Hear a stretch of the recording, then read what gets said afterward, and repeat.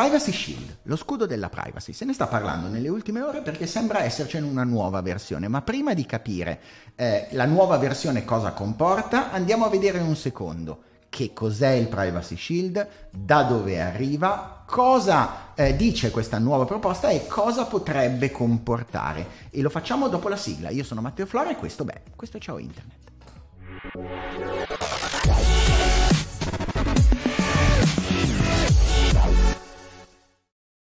Ciao internet, però questa cosa non riesco a farla da solo, o meglio, non verrebbe così bene da solo se non con qualcuno che le sa veramente le cose. E quindi ho chiamato, in realtà è lì, però così almeno è inquadrato meglio, Giuseppe Baciago. Ciao a tutti. Giuseppe Baciago, eh, avvocato delle nuove tecnologie, eh, partner in, e eh, tra l'altro fondatore di 42 Law Firm, lo stesso studio in cui ci sono anch'io come partner, quindi vedeteci sotto una D da qualche parte. Giuseppe, mh, mm, Privacy Shield, cos'è il Privacy Shield? Detta in maniera molto semplice, è un accordo tra Europa e Stati Uniti affinché eh, i dati che, eh, personali che noi cittadini europei facciamo trattare agli americani, ai soggetti americani, e non sono pochi, vengano trattati con certi parametri di adeguatezza dal punto di vista della privacy parametri di adeguatezza che in realtà abbiamo scoperto con una serie di cause che non ci sono per n ragioni. La prima tra tutte è ad esempio che il governo americano ha più potere su quei dati di quante siano le garanzie che abbiamo in Europa. Riusciamo a fare un po' la storia di che cosa, di come è nato, di, di, di quali erano i problemi del Privacy Shield? Eh, sì Matteo, il punto è, come dire, risale non adesso, poi dopo parliamo anche delle, delle famose Max Schrems eh, e delle cause, però par- dobbiamo andare un po' indietro e parlare del 1917, eh, che è una Molto data importante, parecchio indietro, che è il primo momento in cui gli americani si rendono conto che c'è una sorta di schizofrenia eh, dal punto di vista investigativo. Da un lato le intercettazioni sono formalmente vietate e dall'altro lato però vengono fatte attività estremamente invasive nei confronti dei cittadini. Qual- cos'era successo nel 1917? Che per la prima volta, direi nel mondo, ci sono state le intercettazioni telefoniche a New York in un caso che riguardava proprio il clero. Scandalo pazzesco e da lì nasce proprio la forte presa data dal quarto emendamento che dice voi non potete fare attività di intercettazione. Sapete benissimo che in Italia intercettazioni telematiche, telefoniche, ce ne sono tantissime. Mi ha parlato di Troia, mi ha parlato con Pila, quindi sì. Perfetto, non è un tema. Invece negli Stati Uniti, legalmente parlando e formalmente parlando, le intercettazioni sono vietatissime. Poi sappiamo bene che NSA e CIA o CIA, chiamiamolo come vogliamo, eh, hanno fatto tanto eh, negli ultimi anni questo ha, chiamiamo, dicendo in qualche modo, indispettito, anche legittimamente si può dire, eh, l'Europa e quindi l'accordo nasce proprio un po' per queste ragioni. Accordo che venne già nel 2015 eh, annullato perché non forniva determinate garanzie, ne è stato fatto un altro già criticato che è proprio questo Privacy Shield che è stato dichiarato invalido nel luglio del 2020. Adesso siamo al terzo capitolo e questa è la notizia di oggi, insomma. Allora, di base, se ho capito bene, il problema reale è che mentre i cittadini americani non vengono intercettati, tutta questa serie di garanzie non vengono date ai cittadini di qualunque altro paese. Quindi in realtà tutti i provider sono obbligati, tra l'altro anche in maniera silente, a eh, dare dati qualora lo chiedano i servizi segreti, eh, la, la, la Central Intelligence americana, e quindi eh, se i miei dati vengono trasferiti negli Stati Uniti, io in realtà ho molte meno garanzie di quello che mi darebbe lo Stato, cioè un qualunque Stato europeo nel framework legale europeo. Corretto di base? Di base sì. Due piccole eh, aggiunte. Primo, le intercettazioni riguardano anche i cittadini statunitensi, ma dici bene, eh, le intercettazioni ovviamente segrete, chiamiamole, quelle non formali, quelle, della, quelle, dei film e delle serie televisive, quelle dell'NSA e quelle della CIA. Ehm, però riguardano anche i cittadini non americani, con una certa, mi permetto di dire, presunzione che, ripeto, non ha fatto piacere ai cittadini europei. Secondo punto, attenzione, non pensiamo che però in Europa non succeda nulla. Stavo per dirti, ma perché in Italia invece non vengono intercettati? Allora, partiamo anche dal caso Echelon, che suggerisco a tutti di andare a vedere perché chi vuole un approfondimento può farlo, però senza tornare indietro a livello europeo, parliamo dell'Italia. L'Italia ha una legge, la 124 del 2007, che tutti possono leggere, l'articolo 7, per esempio, che dà all'AISE parecchi poteri. Gli stessi che vengono dati agli americani? No, è vero, però non possiamo dire che ciò non avvenga in Europa, ecco. Allora, in tutto questo a un certo punto arriva, a seconda dello schieramento in cui tu sei, un fottuto eroe o un dannato rompiballe. Lui si chiama Maximilian Schrems e nel caso vi siete, vi siete detti perché cosa sono sta sentenza Schrems, che è il nome di una persona. Lui si chiama Maximilian Schrems e mette da attivista in crisi praticamente tutto lo Privacy Shield. Sì, è una bellissima storia quella di Max Schrems e io, a me piace raccontare le storie perché raccontando anche da dove nascono no, questi personaggi si capisce molto eh, di quello che poi succede anche a livello legale. Max Schrems è un giurista austriaco che passa un semestre all'Università di Santa Clara dove eh, incontra eh, nei suoi vari percorsi formativi Ed Palmieri, eh, legale di Meta eh, prima ai tempi Facebook da quel momento decide, dopo averlo sentito, che la sua vita è, sarà, diciamo, connotata dal fare causa a Facebook. Quindi ecco, io non vorrei mai essere eh, stato Ed Palmieri in quello speech. Perché... Bravissimo, eh? Convincen- convincentissimo, però porca di quella miseria.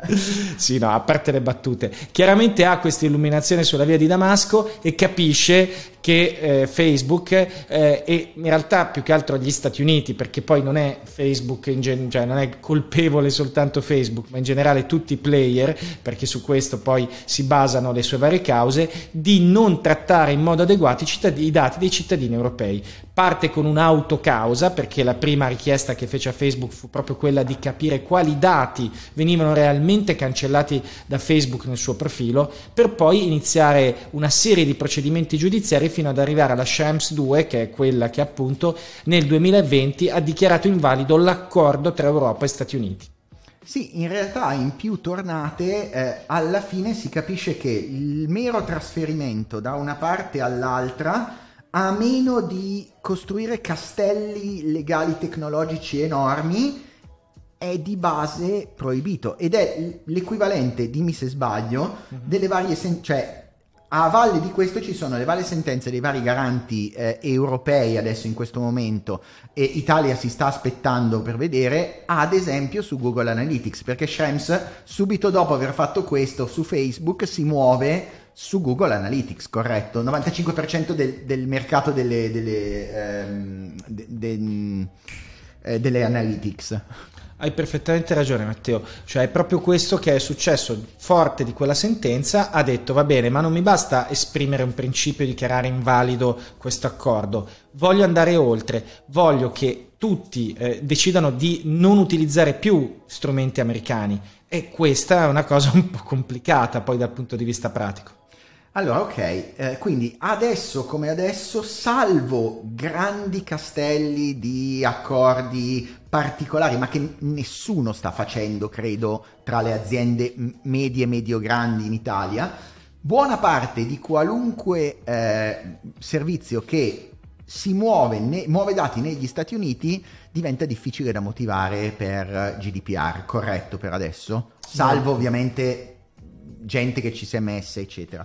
Che è anche il motivo, credo, per cui tanti provider già da un bel po' di tempo, mi viene in mente Microsoft con, eh, con Office, aveva trasferito to- totalmente la gestione dei dati europei in data center europei. Mm, quasi tutto almeno, tutto quello che io mi ricordo, almeno la posta. Eh, venerdì scorso, quindi, che cosa è successo? Perché ne stiamo parlando adesso? Allora, fino, come dici giustamente tu, fino a venerdì scorso eh, ci siamo arrangiati, nel senso che c'erano due strade, le standard contractual clauses, cioè degli accordi dove il player americano dava determinate garanzie, per dirla in maniera molto semplice, oppure il cosiddetto Transfer Impact Assessment, che era un assessment che il titolare del trattamento, cioè il soggetto europeo, cercava di fare per giustificare l'utilizzo di questi strumenti. Aspetta, aspetta, aspetta, spieghiamole. Hai ragione. Da una parte abbiamo un contratto particolare che io faccio con il provider americano che mi dà delle garanzie superiori o mi bravissimo, dice bravissimo, bravissimo. Dall'altro sono io che valuto e dico, è vero, li porto di là, però magari, faccio un esempio, magari li porto di là cifrati, le chiavi le ho di qua, quindi in realtà anche se di là mi stanno intercettando anche queste cose, non comporta un disvelamento di... E quindi io per comodità li metto di là, però ci sono abbastanza garanzie. Sono comunque tutti e due avvocati che risolvono problemi tecnici, corretto? Sì, grazie Matteo, hai reso assolutamente intellegibile quello che ho detto. E quindi queste sono le due cose che sono successe fino ad oggi. Ma erano palliativi. E adesso invece, forse anche in una logica un po' più ampia di rapporto Europa-Stati Uniti legato alle vicende sì. note di cui non dobbiamo parlare, ehm, ma se ne parlava anche prima, onor del vero, eh, von der Leyen e eh, Biden hanno fatto un annuncio importante, cioè ci provano per la terza volta a fare un accordo che, tra, per il trasferimento dei dati. Tra l'altro un accordo che in teoria leggo consentirà flussi di dati prevedibili e affidabili, bilanciando sicurezza, diritto alla privacy e protezione dei dati. Non so se fa anche il caffè. Beh, sono principi che è facile, come dire, scrivere e infatti mi viene da dire non, non si è fatto attendere eh, Max Schrems esatto. che, che, che, ha fondato poi anche Noib così ricordiamo anche che cosa sì. l'associazione degli attivisti scritto che, NOYB grazie che c'è anche un sito web molto, molto denso di informazioni da questo punto di vista e con un comunicato taglientissimo ha veramente criticato questo accordo perché ha detto questa è una petizione di principio, non abbiamo il documento scritto, non vale nulla, si è anche spinto a dire non ci riuscirà mai l'America a cambiare le sue leggi. Questo è un tema abbastanza delicato. Eh sì, perché allora a parte il fatto che ti dice che vabbè contesterà questa cosa appena arriverà, eccetera, il punto non è male, cioè perché funzioni una cosa del genere devono cambiare in maniera abbastanza significativa una serie di normative americane non particolarmente semplici, perché tra l'altro dal Patriot Act e quello che arriva dopo, cioè sono state varate in condizioni di emergenza. Eh, c'è un ordine presidenziale, non mi ricordo quale, tu di sicuro sì, eh, però cambiano in emergenza e non è semplice variare totalmente, è come se dicessero in Italia devi cambiare le, le, la norma sulla diffamazione per poter poi eh, parlare con gli Stati Uniti. Ci sta che sia difficile o no? Molto difficile Matteo, perché? Perché in primo luogo siamo di fronte a una situazione emergenziale e quindi cambiare Oggi il presidential order, appunto, che tu citavi, che è il 123333, che dà a. Quindi che lo sapevi, esatto. lo sapevo, sì, faccio il primo della classe. No, eh, il, il, quest'ordine, no, lo dico solo per chi magari vuole poi andare certo. a googlarlo o altro, dà al presidente degli Stati Uniti il potere di andare a, a vedere i dati di chi vuole. Questo è quindi obbligare i player, eh, Google, Facebook, eh, scusatemi, Meta e, e, e, gli altri, tutti gli altri, a, a, ad accedere a questi dati. Capite capite bene che in questo momento storico può essere strategico e quindi è difficile modificare un, eh, un, un, atto normativo di questo tipo e invece il Federal Surveillance Act, che è l'altro atto oggetto diciamo, di critiche da parte dell'Europa, è addirittura se non vado errato nel 1978, quindi cambiarlo è altrettanto complicato.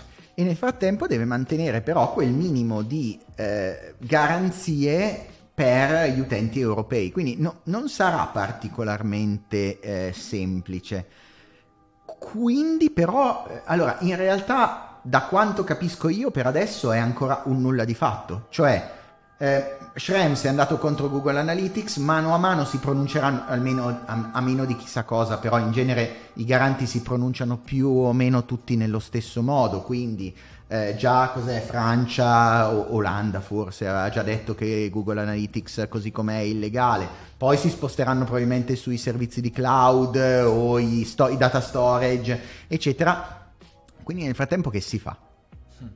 Beh, nel frattempo attendiamo che arrivi l'accordo perché è stato annunciato, quindi un pezzo di carta eh, ci arriverà, si parla prima dell'estate, quindi non è immediato e poi potremo parlare perché forse la verità sta sempre nel mezzo. Eh, da un certo punto di vista eh, magari ci sono delle petizioni di principio adesso, che è un momento strategico di unione Europa-Stati Uniti, però eh, è anche vero forse che non si può dire a priori che l'America non cambierà mai e non troverà mai l'accordo. Anche quella mi sembra una petizione di principio dal punto di vista della, di Noib e di Max Schrems. Leggiamo il documento e vediamo se questo documento è accettabile e soprattutto passare al vaglio dei garanti europei, questa EPBD, cioè European Data Protection Board, ehm, che appunto deve dare il suo parere. Sì, il garante dei garanti. Il garante dei garanti. Questo sarà molto importante per, per chiudere questa vicenda. E nel frattempo, nel frattempo, il mondo sta andando avanti, ci sono realtà sempre diverse, si parla di storage decentralizzato, ci sono realtà che forse creano livelli di complessità magari anche superiori a quello di cui stiamo discutendo adesso EU-US eh, e quindi è, è, non è facile, ecco. Allora, quindi in realtà però... Eh comunque a quanto pare chi non si è dotato di mezzi eh, per capire, allora chi usa servizi che trasferiscono dati negli Stati Uniti e non si è dotato di un'impalcatura tecnica o legale, eh, quindi non ha le standard clause o, o non ha le, ehm, il transfer impact assessment, comunque dovrebbe iniziare a pensarci in maniera seria, indipendentemente da che cosa dice poi il, eh, il nuovo Privacy Shield, o se ne può fregare pensando del, che tanto arriverà un, una nuova panacea? Beh, io tendenzialmente non me ne fregherei perché comunque era una cosa che doveva essere oggetto di attenzione dal 2020 perché arriverà perché ci sono degli, delle indagini in corso, arriveranno dei provvedimenti da parte dell'autorità nazionale e che non saranno secondo me leggeri sul tema del trasferimento dei dati all'estero, quindi è chiaro che da un punto di vista prudenziale bisogna attivarsi e bisognava attivarsi anche prima e non è che è cambiato nulla.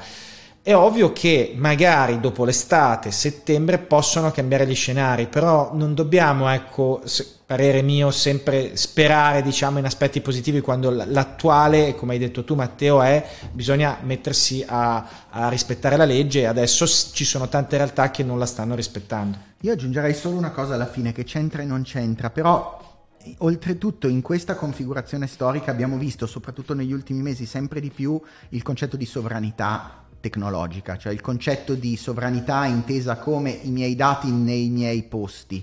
L'abbiamo visto con la Russia, l'abbiamo visto con, eh, con, tutta una serie di cose che sono andate per aria perché i dati erano eh, non si sa esattamente dove, indipendentemente da tutti. Non voglio citare Kaspersky o, o chiunque altro, però indipendentemente da tutto forse è il momento di fermarsi, di mettersi avvocati e tecnici assieme, fare una bella mappa di dove sono i miei dati, cosa ne faccio e se magari con un minimo sforzo o uno sforzo comunque accettabile riesco a spostarli qualunque cosa succeda, non dico in Italia, ma almeno in Europa, beh, secondo me è uno sforzo che insieme al, a redigere poi transfer impact assessment o andare a cercare, secondo me è uno sforzo che vale la pena di fare, sei d'accordo? Assolutamente sì, Matteo, con un unico caveat che è quello della sostenibilità energetica, che dobbiamo ricordarci essere un tema cruciale per i prossimi anni, perché conservare i dati eh, costa. Quindi potremmo chiudere con questo messaggio. Eh, primo, sovranità importante, dobbiamo portare i dati in Europa, dobbiamo stare attenti da questo punto di vista perché i dati sono il nuovo petrolio e più tu lo sposti, più poi ne avrai bisogno eh, in futuro. Secondo principio che in effetti eh, viene un po' odiato da, da, alcuni soggetti ma che è importantissimo che è quello della minimizzazione del dato. Meni, meno dati abbiamo, meno rischi abbiamo in caso purtroppo di data breach, ovviamente incrociamo le dita ma succedono e meno energia consumiamo che sarebbe anche un tema importante da affrontare.